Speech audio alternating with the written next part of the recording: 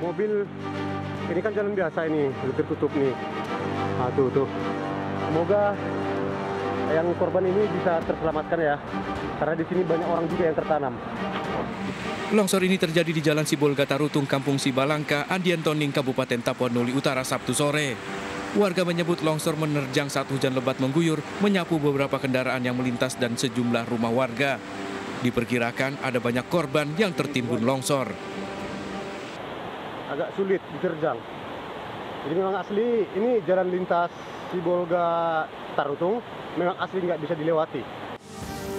Warga menyebut saat longsor menerjang ada banyak kendaraan tengah melintas di antaranya truk, minibus, dan sejumlah sepeda motor.